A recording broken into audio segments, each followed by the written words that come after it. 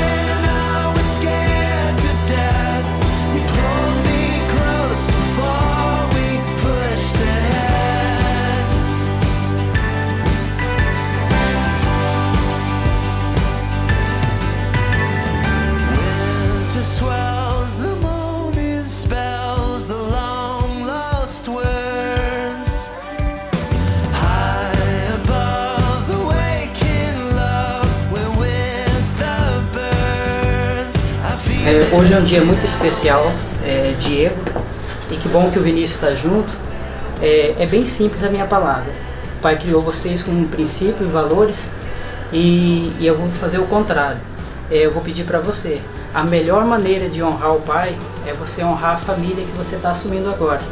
Quando você cuidar da Laine, quando você honrar ela e a família dela, você estará honrando a mim e a sua mãe né, dentro do princípio e valor que você foi criado, dentro de ensinamentos, né, de princípios valores, de caráter, de honestidade e acima de tudo de respeito ao próximo e respeito às famílias.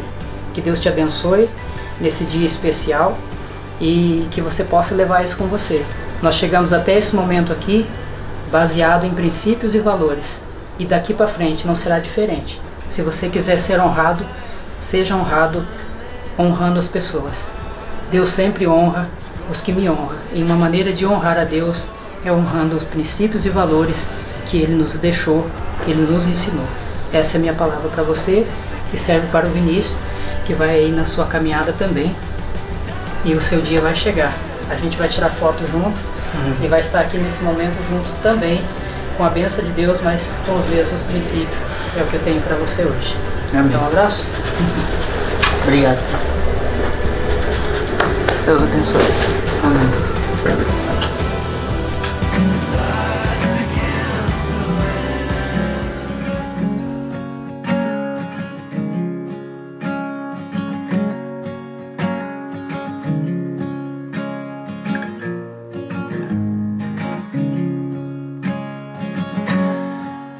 had some good days, and I've had some none compared to the days that I've had with you. And I've had some high times, and I've had some cursed, but none compared to the times that I've had with you. I'd take out a loan for just one day alone run back the time in slow motion. I'd sell my guitars, I'd spend life behind bars to take one more trip through the store.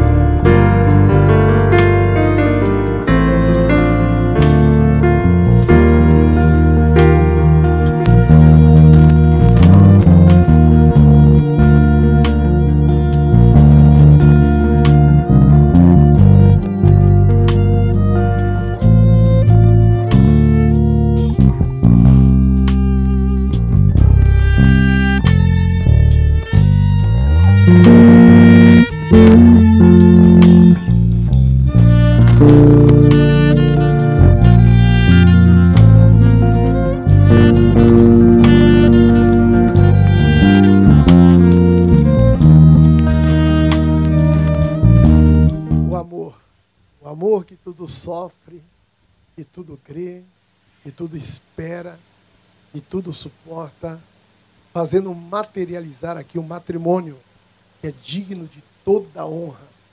E como juiz de paz, aqui estou, atrelado pela nossa Constituição brasileira, o artigo 94, inciso 2, para oficializar esse evento de grande credibilidade, onde todas as exigências do novo Código Civil brasileiro, processo civil brasileiro, foram assim atendidos, sem nenhuma assim é, deturpação dos valores.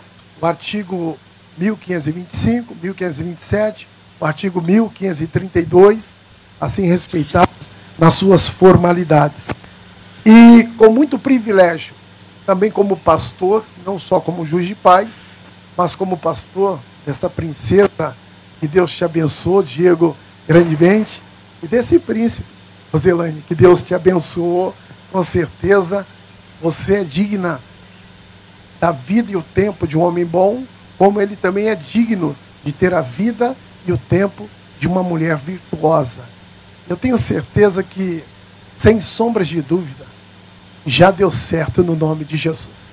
Porque tudo começa aqui no altar. Então eu vou poupar dessas formalidades, da vontade de adentrar pela história que eu conheço dessa princesa, e durante o período que congregou comigo, foi um referencial positivo, uma força motora na nossa congregação, diante de toda a membresia, sempre brilhou, sobressaiu, e hoje poder ver em tela esse momento tão lindo, me alegrando com seus pais, irmã Irene, irmão Elzio, por essa, essa dádiva de Deus no momento tão difícil que todos nós atravessamos e estamos atravessando dessa pandemia, mas até aqui o Senhor nos ajudou. Todos nós estamos aqui para vivenciarmos boas novas sobre a vida desse casal. Então eu quero que na autoridade, também como pastor, como líder espiritual e como juiz de paz, pedir a todos vocês que estendessem as mãos, as vossas mãos aqui para o altar, liberando os votos de sucesso, de felicidade. Nós teremos aqui um momento religioso com o pai do Diego, pastor querido, vai estar ministrando com muito brilho, com muita unção, consagrando as alianças e abençoando as alianças. Mas esse momento eu quero que vocês vão externar também, através desse gesto de fé, sucesso sobre a vida desse casal, Rosilane, sobre a vida do Diego. Senhor, nós queremos te agradecer, ó Deus, por esse momento tão lindo. Te louvamos pela tua bondade, pela tua misericórdia, pela imensidão do teu amor para conosco.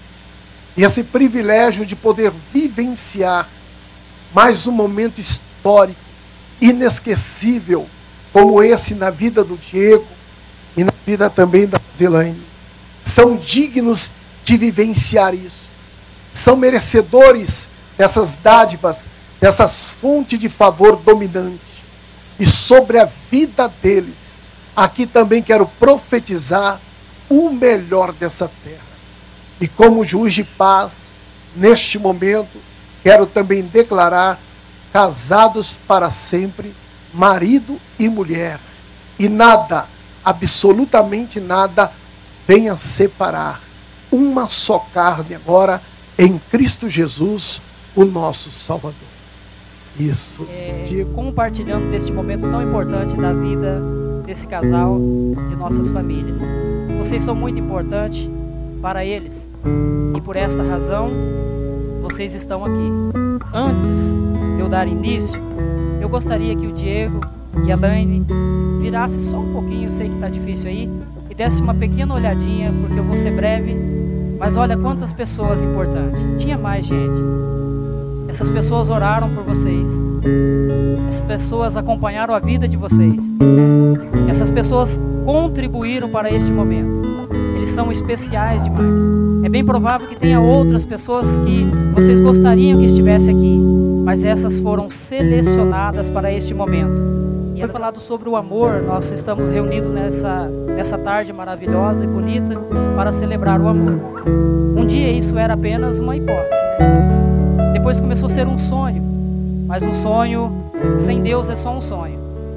Mas um sonho com Deus hoje é realidade. Ontem ainda era sonho. Hoje de manhã ainda era sonho. Há meia hora atrás era sonho. Mas agora ele é real. Ele é palpável, a gente pode sentir, estamos aqui. Talvez nos seus maiores sonhos você não imaginou esse momento, que seria dessa forma. Que bom. Quem espera em Deus, alcança. Quem espera no Senhor, Ele abençoa. O seu momento chegou, a hora de vocês chegou. Amém? Eu escolhi João capítulo 2, no seu versículo, no capítulo 2, do verso 1 ao 11, bem conhecido de todos. Três dias depois, houve um casamento em Caná da Galileia. Estava ali a mãe de Jesus. Foi também convidado Jesus e seus discípulos para o casamento. E tendo acabado o vinho, a mãe de Jesus lhe disse: Eles não têm vinho. Respondeu-lhe Jesus: Mulher, que tenho contigo ainda não é chegada a minha hora. Disse-lhe então a sua mãe ao servente: Fazei tudo o que ele vos disser. Ora estava ali postas seis talhas de pedras para a purificação dos judeus. Em cada uma cabia duas ou três metretas. Ordenou Jesus, enchei de água essas talhas, e encheram-as até em cima. Então lhe disse: Tirai agora e levai ao mestre Sala. Quando o mestre Sala provou a água, que havia sido transformada em vinho, e não sabendo de onde viera, se bem que sabiam os serventes que tinham tirado a água, chamou o mestre Sala o noivo e disse-lhe: Todo homem põe primeiro o vinho bom, e quando já tem bebido bem, então o inferior. Mas tu guardaste até agora o bom vinho. Assim Jesus iniciou os seus sinais em Caná da Galileia. Manifestou a sua glória e os seus discípulos nele. Queridos, antes de eu deixar aqui uma mensagem para vocês. Quando le lemos Gênesis, eu tenho uma informação maravilhosa. Que Deus vai criando e vendo que tudo era bom. Mas quando ele fez o homem, ele disse: E viu Deus que era muito bom. Dá para olhar, Roselane? Se é muito bom. Só que esse muito bom ficou dando nome aos animais lá no campo e não achou ninguém para ele. E é por isso que elas se acham. Porque olhando na criação de Deus, não se achou nenhuma para que pudesse é, auxiliá-la de igual. Não achou entre a criação de Deus. Então Deus fez o homem é, cair no profundo sono. E lá nós entendemos o processo. E fez a mulher. Né? Então aqui eu já deixo uma mensagem antes de eu entrar na mensagem propriamente. É muito bom, mas não é bom sozinho. Aí nós vamos encontrar Deus dizendo: não é bom que ele esteja só. É muito bom, mas não é bom ficar sozinho. Mas eu estou olhando na criação e não tem ninguém bom para que esse bom. Não achava ninguém. E é engraçado que Deus poderia ter mandado o homem para o campo trabalhar, fazer um milhão de coisas. O que Deus fez? Ele colocou o homem num sono. E aqui eu já deixo uma mensagem para vocês. Deus é um Deus bondoso, Ele está presente nessa tarde. E Ele não nos coloca em situações e circunstâncias para nos abençoar, não mais do que nós dependermos dele. Ele viu o que o homem precisava, não tinha, e o que precisa é Deus fazer. E o que quando Deus vai fazer, Ele nos dá um descanso. Isso já leva para a sua vida. Todas as vezes que faltar algo, dorme, descansa. Permita Deus dar para você um sono, porque há muitas famílias agitadas e não conseguem resolver as suas situações, as suas pendências, porque não descansa em Deus. Mas como o homem descansou, aí lá veio a solução bonita, maravilhosa, a sua auxiliadora. Amém? Só que aconteceu uma fatalidade.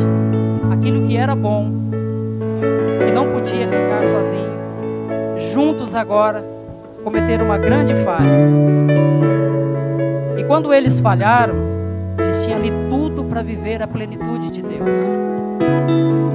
Mas, não havendo o homem pecado, ele perde esse benefício de Deus. E aí as famílias agora vivem grandes dificuldades por consequência também deste pecado.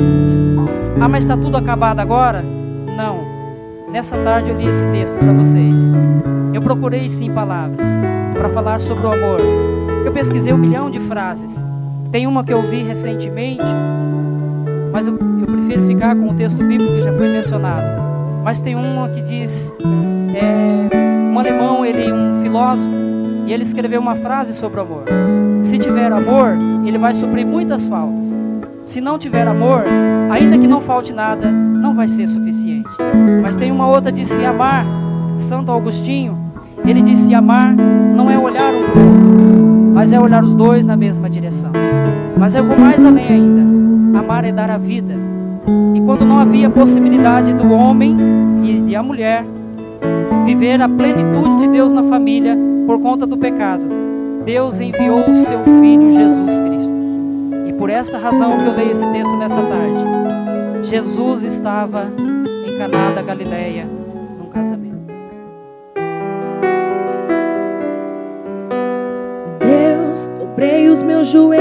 Falar de amor, para te agradecer pelo que fez por mim. Há tanto tempo te pedi uma pessoa, alguém que me amasse e cuidasse de mim. E olha a bênção que o Senhor me preparou. Oremos. Querido Deus e Pai, no nome de Jesus, o Senhor que faz milagre, o Senhor que opera todas as coisas, o Senhor que providenciou esse dia, o Senhor é, que estendeu as suas mãos para que acontecesse todas essas coisas. Pai, esse momento lindo e maravilhoso em que esse casal se propõe viver agora para sempre, Senhor, juntos, enquanto viverem, Senhor, com fidelidade, com retidão dentro dos princípios e valores, Senhor, bíblico. Pai, é no nome de Jesus que nós consagramos essa aliança. Que ela seja, Senhor, motivo de alegria, que ela seja motivo de felicidade, mas que ela seja motivo também, Senhor, nas horas mais difíceis que eles possam passar, eles se lembrem que diante do Senhor fizeram um pacto e um acordo. Por isso nós oramos e consagramos em nome de Eu Jesus. gaguejar vocês no livro. Antes de eu ler meus votos, eu queria falar que a minha noiva e agora esposa está maravilhosa, está linda demais. e eu também tô todo Nicolas Cagezinho. Ai que gato. Meus votos. Para mim foi muito fácil escrever meus votos, pois você tem tantas virtudes e qualidades que é um privilégio escrever sobre você. Tão meiga, carinhosa, paciente, humilde, segura, dedicada, trabalhadora. Temos provas aqui. E com certeza uma excelente profissional, principalmente na área financeira, me policiando de para não torrar o cartão de crédito com cinema, energético e tênis caro. Como já disse, você tem tantas qualidades que não cabem nesse pedaço de papel. Todas essas qualidades que citei são importantes e definem muito bem o seu caráter, mas tem algumas características que me chamaram muito a atenção, é o brilho do Espírito Santo sobre a sua vida. sua dedicação, esforço e comprometimento para fazer a obra de Deus. Tenho certeza que escolhi a pessoa certa e compartilho dos mesmos valores e princípios que eu. Literalmente tudo que eu pedi em minhas orações. Eu sempre soube que quando chegasse a hora meu coração pulsaria mais forte e mais rápido. E foi exatamente assim que aconteceu quando você apareceu na minha vida. Você chegou de mansinho na Peniel. Lembro quando te vi pela primeira vez. Não quis me aproximar por não saber se você ficaria na igreja. Mas não, ba não bastou três cultos de jovens para você me mandar mensagem no WhatsApp. Era somente para falar que eu não apareci na selfie, mas eu já tinha percebido de cara suas segundas intenções. E que bom, porque através disso nos conhecemos e você me conquistou com esse jeitinho meiga de ser. Agradeço a Deus todos os dias por ter colocado você em meu caminho. Você é simplesmente a melhor pessoa do mundo. Está sempre ao meu lado, me encoraja a correr atrás dos meus sonhos e vibra com a realização deles. A minha felicidade é inegável quando estou do seu lado. Você é dona do sorriso mais lindo do mundo, principalmente agora com essas facetas de porcelana feitas pelo Tiago.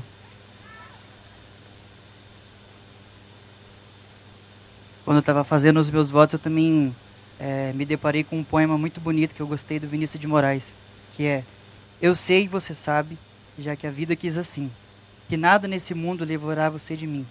Eu sei e você sabe que a distância não existe, que todo grande amor só é bem quando for triste. Por isso, meu amor, não tenha medo de sofrer, e todos os caminhos me encaminham para você. Assim como o oceano só é belo com luar, assim como a canção só tem razão se cantar, assim como a nuvem só acontece se chover, assim como o poeta só é grande se sofrer. Assim como viver, sem ter amor não é viver. Não há você sem mim, eu não existo sem você. Como sempre digo em, em nossas orações, hoje celebramos o amor, a alegria e a união de estarmos juntos. Porém, o mais importante é que nesse dia 11 de, de dezembro, vamos selar mais um propósito de Deus em nossas vidas, pois acredito que juntos nós conseguimos somar na vida um do outro, em todas as áreas. Obrigado por tudo e por tanto. Te amo demais, meu amorzinho.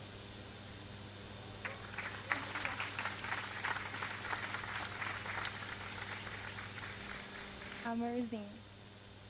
Meu coração está transbordando de alegria. Chegou o nosso grande dia em que nos tornaremos um só diante de Deus. Nós oramos tanto por esse momento, o quanto sonhamos com esse dia. Não foi fácil, mas sabíamos que juntos e com Deus na frente iríamos conseguir. E aqui estamos nós. Sou eternamente grata a Deus por nos permitir viver esse sonho, por tudo que Ele fez para que pudéssemos estar aqui.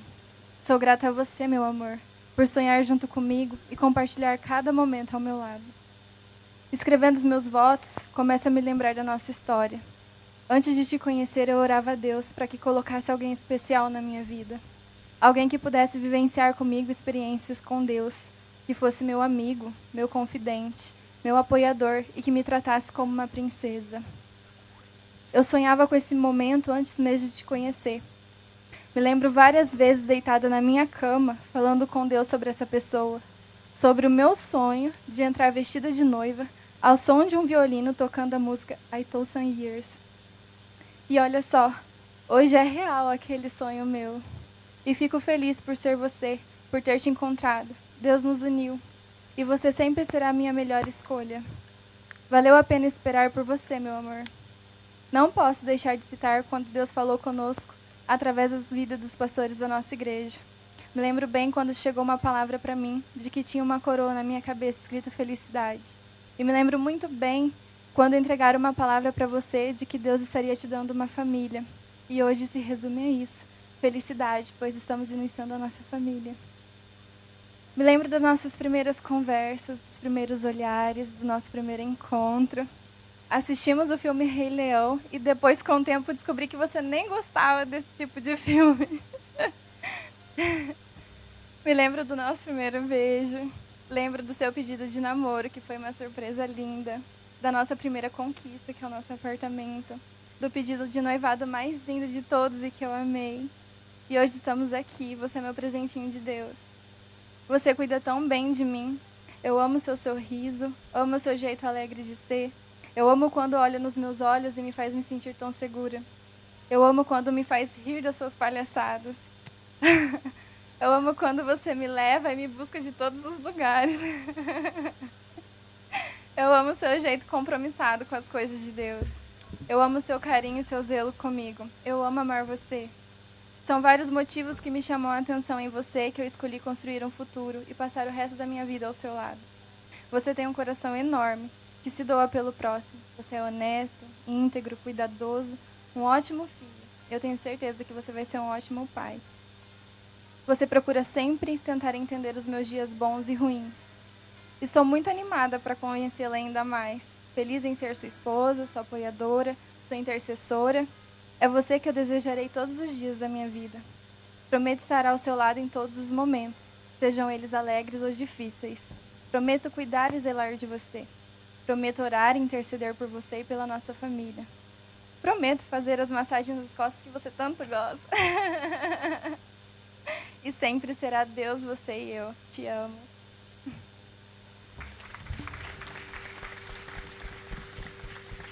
Pai, nós te louvamos pela tua fidelidade. Reconhecemos o teu senhorio sobre as nossas vidas, sobre a vida da Lane e do Diego. Obrigado, Senhor, por este momento tão especial na vida deles.